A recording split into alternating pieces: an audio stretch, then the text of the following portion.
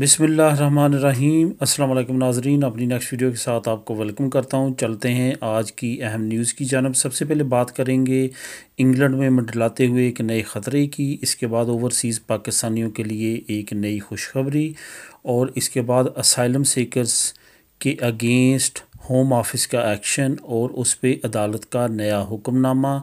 इसके बाद आखिर में बात करेंगे यूरोपीय यूनियन से आए हुए यूरोपियन बाशिंदों पे एक अहम रिपोर्ट शाया की गई है। उसमें क्या है?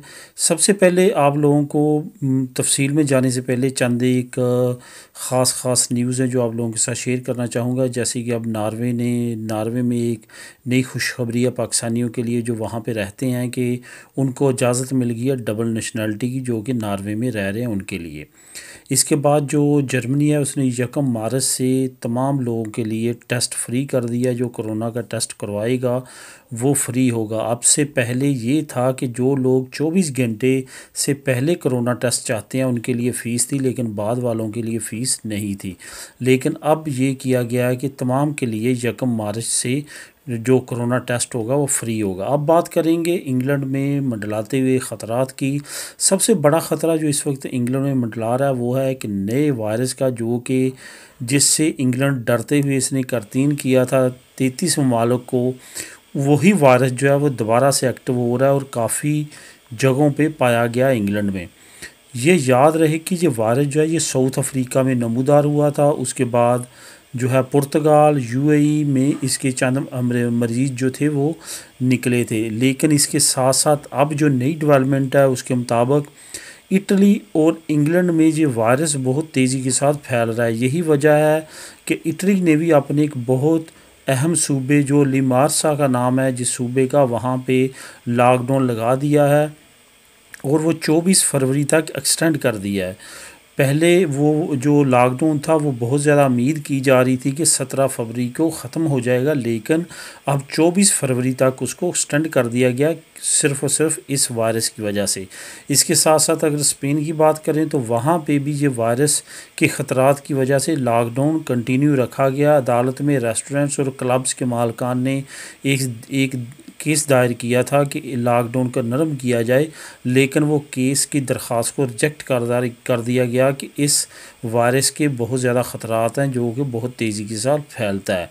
अब आने वाले वक्त में यूके की हुकूमत इस पर क्या स्टेप लेती है, क्या करती है, लेकिन फ़िलहाल काफ़ी ज़्यादा ख़तरात हैं इंग्लैंड में इसके फैलने के, और मज़ीद इसको जो है कंट्रोल से बाहर होने से पहले पहले जो एन एच एस है वो काफ़ी ज़्यादा कोशिश कर रहा है।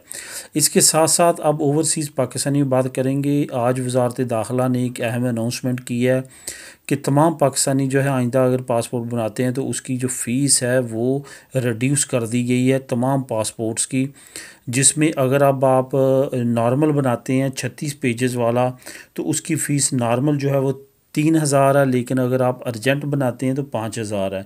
इसी तरह अगर दस साल की, के लिए पासपोर्ट बनवाते हैं, छत्तीस पेजेस वाला ही तो उसके लिए पैंतालीस सौ नॉर्मल है और पचहत्तर सौ रुपया जो है वो अर्जेंट फ़ीस करार दी गई है। इसका मतलब है कि आने वाले वक्त में इसके साथ साथ जो मज़ीद पासपोर्ट्स की कैटेगरीज़ हैं, उसमें भी इसी तरह से बलतदरीज जो है वो किया गया, कमी की गई है। आने वाले वक्त में मज़ीद कुछ अच्छी अच्छी डेवलपमेंट्स वजारत दाखिला और वजारत ख़ारजा की तरफ़ से आने की उम्मीद है। जैसे कि पुर्तगाल को इस महीने जो है, वो डबल नेशनलिटी की इजाज़त मिलने की उम्मीद पुर्तगाल में भी हो सकता है कि इस महीने इजाज़त मिल जाए और इस तरह नार्वे और पुर्तगाल दो नई कंट्रीज़ होंगी जो डबल नेशनलिटी पाकिस्तान की रख सकेंगी। इसके बाद बात करेंगे होम ऑफ़िस की। होम ऑफ़िस ने, जैसे कि आप जानते हैं कि तकरीबन दो हफ़्ते से काफ़ी ज़्यादा मसले मसाइल चल रहे हैं, जब से आग बैरिक्स में लगी है। उसके बाद से अदालत के हुक्म के बावजूद प्रीटी पटेल और होम ऑफ़िस की तरफ़ से कोई भी ऐसी एक्टिविटी नहीं कार्रवाई की गई, जिससे ये साबित हो सकता है कि उन्होंने अदालत की रिस्पेक्ट की है। जैसे कि मैंने लास्ट डे एक न्यूज़ शेयर की थी कि छः असाइलम सेकर्स ने वकीलों की एक टीम के साथ तावन करते हुए केस दायर किया है और इस केस की जो पैरवी या वो एक बहुत बड़ी यूनियन है लायर्स की वो कर रहे हैं। वो केस जो है वो अदालत में पहुँच चुका है और अदालत ने होम ऑफ़िस को बुलाया है और अदालत ने कहा है कि होम ऑफ़िस ने बिल्कुल भी उस आर्डर की पैरवी नहीं की, जिस आर्डर के तहत उसको कहा गया गया था कि असाइलम सीकर्स को उन बैरक्स में नहीं रखा जा सकता जहाँ पे रहने के हालात मुनासब नहीं हैं।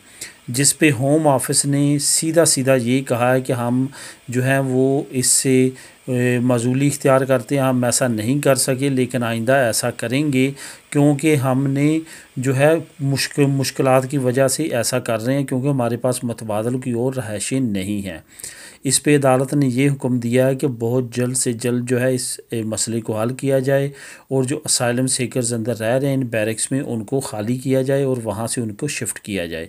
ये याद रहे कि ह्यूमन राइट्स ऑर्गेनाइजेशन और बाकी तमाम इंटरनेशनल अदारों के बार बार एहतजाज करने से और अपीलें करने से अभी तक हुकूमत की तरफ़ से कोई भी ऐसा रद्दमल नहीं आया। बल्कि प्रीति पटेल ने ये कहा, आज से दो हफ़्ते पहले कि जो असाइलम सेकर्स बैरिक्स में रह रहे हैं, ये वो बैरिक्स हैं जो हमारे हीरोज़ के बैरिक्स हैं, जो हमारे जो जो बहादुर फ़ौजी हैं, उनके एक्स बैरिक्स हैं। इस वजह से असाइलम सेकर्स को उनकी तोहन नहीं करनी चाहिए और चुपचाप इन बैरिक्स में रहना चाहिए। जबकि असालम सेकर्स की तरफ़ से ये था कि इन बैरिक्स में ना तो सोने की मुनासिब जगह है, ना किचन की, ना वाशरूम की, किसी तरह भी वो सहूलतें नहीं मुहैया की जा रही जो कि करनी चाहिए। दूसरी तरफ़ कुछ ह्यूमन राइट्स ऑर्गेनाइजेशंस का ये दावा है कि इन बैरिक्स पे ना तो बिजली है, ना पानी है, ना ही बुनियादी सहूलतें और ना ही करोना की जो मेन रिक्वायरमेंट्स हैं जो रखनी चाहिए, वो भी नहीं रखी जा रही, जिसकी वजह से असालम सेकर्स की हालत पहले से ख़राब है, ना कि बेहतर है। अब आने वाले वक्त में असाइलम सेकर अदा, के इन प्रॉब्लम्स की वजह से अब होम ऑफ़िस इसके अगेंस्ट क्या करता है, जो अदालत ने अब हुक्म दिया नया, ये आने वाले वक्त में पता चलेगा कि प्रीति पटेल और असाइलम सेकर्स का क्या रद्दमल सामने आता है इस हुक्मनामे पे। अगर तो होम ऑफ़िस इस पर कोई एक्शन लेता है तो फिर तो ये मसला सॉल्व होता हुआ नज़र आता है, वरना ये मसला मज़ीद पचीदा हो सकता है। इसके बाद बात करेंगे यूरोपियन सेटलमेंट स्कीम के बारे में, एक नई जामिया रिपोर्ट जो है वो शाया की गई है। Financial time financial time international एक वेब और एक मैगज़ीन है जिन्होंने एक बहुत जामिया रिपोर्ट दी है यूरोपियन नेशनल के लिए कि 2019 से लेके अब तक लाखों की तादाद में यूरोपीय यूनियन के जो लोग हैं, वो इंग्लैंड को छोड़ चुके हैं सिर्फ़ और सिर्फ़ इस खौफ की वजह से कि वो इलीगल हो जाएँगे और उनका स्टेटस जो उनका अपनी होम कंट्री का, वो भी कहीं ख़त्म ना हो जाए। ये उन्होंने इसमें चंद एक रोमानिया, बल्गारिया और दूसरे ममालक के लोगों का इंटरव्यू किया और साथ साथ उन्होंने उनकी सादा लोई का भी ज़िक्र किया कि ये वो लोग हैं जो कि यहाँ पे ईयू सेटलमेंट स्कीमें अप्लाई करने भी काबिल नहीं है उनको कुछ इलम नहीं है। यही वजह है कि 30 जून के बाद बहुत ज़्यादा लोग जो हैं वो इलीगल हो सकते हैं क्योंकि इन कंट्रीज़ के लोगों को ज़्यादा नो हो नहीं है कि किस तरह से इस स्टेटस को अप्लाई करना है और कहाँ जाना है। यही वजह वो कहते हैं कि बहुत सारे लोग जो हैं ब्रेक्सिट से पहले ही मुल्क को छोड़ गए हैं और अब बहुत सारे लोग छोड़ रहे हैं क्योंकि कोरोना की वजह से ना तो उनको काम मिल रहा, ना ही बेनिफिट्स मिल रहे हैं और ना ही कौंसल हाउस मिल रहा है, जिसकी वजह से वो नामीदी की सूरत में वापस अपनी होम कंट्रीज़ को जा रहे हैं। जहाँ पे उन्होंने शॉप कीपर्स का इंटरव्यू भी किया। वो शॉप कीपर जो रोमानिया और बल्गारिया और पोलैंड से तलग रहते थे और जिनका इरादा था कि वो बहुत जल्द इन शॉप्स को क्लोज़ करके अगर हालात इसी तरह रहे तो अपनी होम कंट्रीज़ को वापस चले जाएँगे। इसमें फाइनेंशियल टाइम ने काफ़ी जो प्रॉब्लम्स हैं, उन पर जो है रोशनी डाली है, जिसमें सबसे बड़ी प्रॉब्लम उन्होंने इकनॉमिकली कोरोना के बाद की प्रॉब्लम्स का ज़िक्र किया और इसके बाद उन्होंने बेनिफिट्स का ज़िक्र किया जो अब नहीं लोगों को मिल रहे हो जिसकी वजह से यूके को छोड़ के यूरोपियन बाशिंदे वापस यूरोप को जा रहे हैं। दोस्तों, ये थी अब तक की अहम न्यूज़। मिलेंगे अपनी नेक्स्ट वीडियो में नई न्यूज़ के साथ। अल्लाह हाफिज़।